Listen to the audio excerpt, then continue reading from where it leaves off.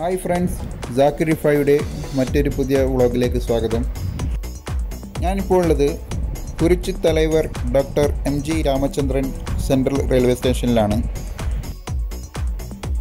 ഈ station open ആയത് ആയിരത്തി എണ്ണൂറ്റി എഴുപത്തി മൂന്നിലാണ് നൂറ്റി നാൽപ്പത്തെട്ട് വർഷം മുമ്പ്. അപ്പോൾ ഇതിന്റെ പേര് മദ്രാസ് സെൻട്രൽ റെയിൽവേ സ്റ്റേഷൻ എന്നായിരുന്നു പിന്നീട് ആയിരത്തി തൊള്ളായിരത്തി തൊണ്ണൂറ്റാറിൽ അത് ചെന്നൈ സെൻട്രൽ റെയിൽവേ സ്റ്റേഷൻ എന്ന പേരിലേക്ക് മാറി. ഇപ്പോൾ ആയ രണ്ടായിരത്തി പത്തൊമ്പതിലാണ് ഈ പുതിയ പേര് വന്നത്. കുരിച്ചു തലവർ doctor M G Ramachandran central railway station.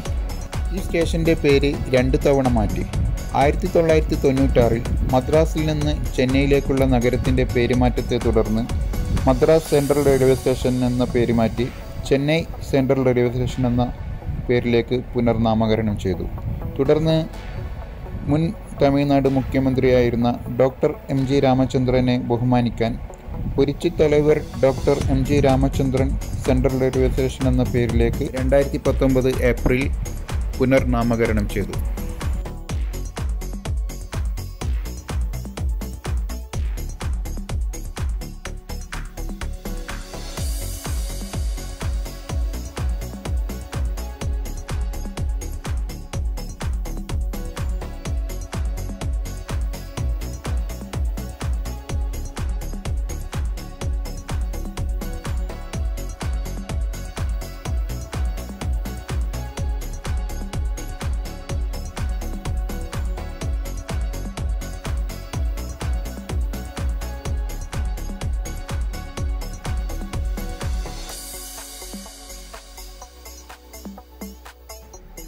പ്രതിദിനം അഞ്ച് ലക്ഷത്തി അമ്പതിനായിരം യാത്രക്കാർ ടെർമിനസ് ഉപയോഗിക്കുന്നു.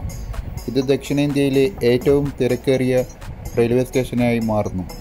ചെന്നൈ എഗ്മോർ കോയമ്പത്തൂർ ജംഗ്ഷൻ എന്നിവയ്ക്കൊപ്പം തെക്കൻ റെയിൽവേയുടെ ഏറ്റവും ലാഭകരമായ സ്റ്റേഷനുകളിൽ ഒന്നാണ് സെൻട്രൽ ടെർമിനസ്.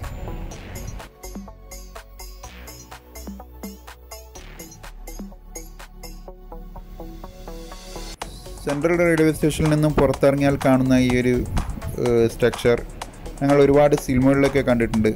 പ്രത്യേകിച്ചും പഴയ മലയാള സിനിമയിലാണ്. ഈ സ്ട്രക്ചർ ആർക്കിടെക്ട് ജോർജ് ഹാർഡിംഗ് ആണ് രൂപകൽപ്പന ചെയ്തത്. റെയിൽവേ സ്റ്റേഷന്റെ നൂറ്റാണ്ടുകൾ പഴക്കമുള്ള ഈ കെട്ടിടം ചെന്നൈയിലെ ഏറ്റവും പ്രധാനപ്പെട്ട സ്ഥലങ്ങളിലൊന്നാണ് അതുകൊണ്ട് തന്നെ ഈ സ്റ്റേഷൻ ഇപ്പോഴും നഗരത്തിനും സംസ്ഥാനത്തിനും ഒരു പ്രധാന അടയാളമായി ഉപയോഗിക്കുന്നു.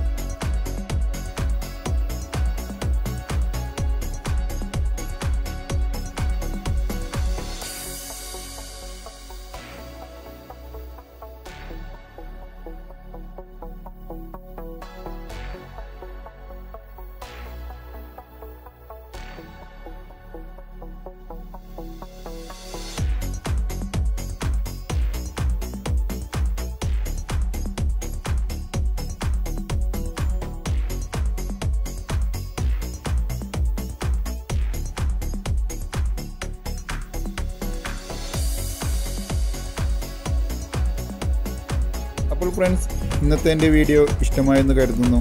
ഇഷ്ടമായെങ്കിൽ ലൈക്ക് ചെയ്യുക. എന്റെ ചാനൽ ഇതുവരെ സബ്സ്ക്രൈബ് ചെയ്യാത്തവരാണെങ്കിൽ സബ്സ്ക്രൈബ് ചെയ്യുക. അടുത്തുള്ള ബെല്ലൈക്കൺ ക്ലിക്ക് ചെയ്യുക. മറ്റൊരു പുതിയ വീഡിയോയുമായി വീണ്ടും കാണാം. ബൈ